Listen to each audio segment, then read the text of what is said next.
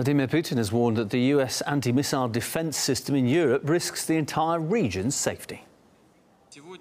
Rockets within a 500 kilometre range are being positioned in Romania now. Rockets with a 1,000 kilometre range are on the way. But what's even worse? These rockets can easily be replaced at any moment with long-range rockets that can travel 2,400 kilometers and no one will notice, even the Romanians.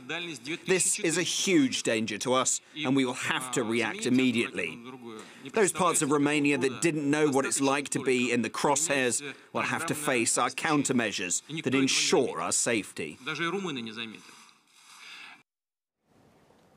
Well, the Russian president was speaking at a joint press conference with the Greek Prime Minister Alexis Tsipras during Putin's visit to Athens. RT correspondent Roman Koshev has more from the Greek capital. Vladimir Putin said that the American anti-missile defense system in Eastern Europe poses a real threat to uh, Russia. That system was initially put in place uh, in uh, uh various countries uh, surrounding Russia in order to counter the Iranian nuclear threat. But uh, due to certain agreements that were made recently, the Iranian nuclear threat no longer exists. So all these new anti-missile defense systems that are being put in place all around Eastern Europe, uh, basically very close to Russian borders, really pose a threat to Moscow. The Russian president said that uh, Moscow is uh, ready to cooperate uh, on this anti-missile defense issues uh, with the United States. However, he added that there is no one to talk to about that as Moscow hears no response to this issue from the Americans. Gerald, we've been covering NATO's activity in the Baltics quite extensively, as well as uh, Russia buzzing our ships and buzzing our, our, our, aircraft in the Baltics as well. Also, Poland is developing with the United States and NATO an anti missile system. They've just put one in Romania as well. Putin is very upset about it, says it could be used for defensive, uh, offensive, not just defensive measures. And now we've got battalions being stationed there uh, in the Baltics. Why do you think NATO is building up their military in Eastern Europe? Because they're crazy. Look what's going on. Imagine if Russian ships are off Newport, where our bases are, or off Pensacola. What would the United States do? Serve them lemonade? You know what the United States would do? They would say that they were threatening and they blow them out of the water. What are we doing over there? How many more, how many more military failures does the Pentagon have to add up before you could call them a bunch of losers? Hey, you like Vietnam? Wasn't that a great one? Only killed 3.3 million people. Hey, what about Afghanistan? Great victory. Oh, Iraq is beautiful. Love Libya. Was thinking of going there for a vacation. Hey, let's bomb Syria.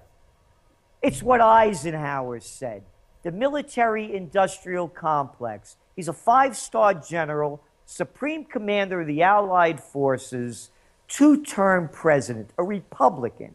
His farewell address warning the American people that the military industrial complex is robbing the nation of the genius of the scientists, the sweat of the laborers, and the future of the children. I just mentioned to you that we're talking about Saudi Arabia. We just sold them what? $60 billion worth of armaments so that they can now kill more people in Yemen. Look at Obama over there in, in uh, Vietnam. That's right. Now they could buy all the weapons. He's taken the embargo off. Isn't that great? I hate these little liberals. They are the lowest lives. They are such cowardly little people. Because what they would do if Bush was doing this, they would all be out there up in Woodstock and other places protesting that the President of the United States has lifted the arms embargo on Vietnam. But when their guy does it, it's not even a peep. So it's about money. It's about money and madmen. And by the way, things are heating up over there in Ukraine too. You read the prostitute media in America. You know what they say? Russia invaded Ukraine. They repeat that line over and over again. Russia invaded Crimea. Oh, yeah, they've been there for 200 years. Only a short period of time when it went back to Ukraine, and that's when Khrushchev, who was Ukrainian and was still under the Soviet Union, gave it back to them. So it's the United States, and it's not only there. Look what they're doing in the South China Sea.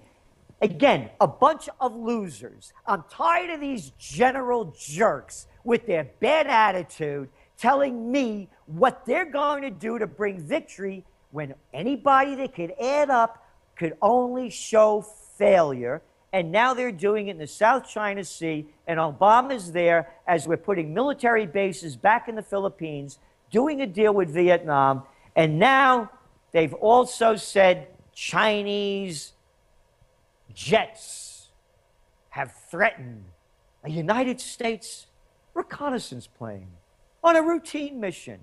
That's the crap language that the CNN prostitutes and the rest put out. Oh, where was this plane? Oh, yeah, near a major naval and submarine base in China. So, again, if we had the Chinese down in Pensacola and the Russians' fleets off Virginia, you think the United States would be sitting on its hands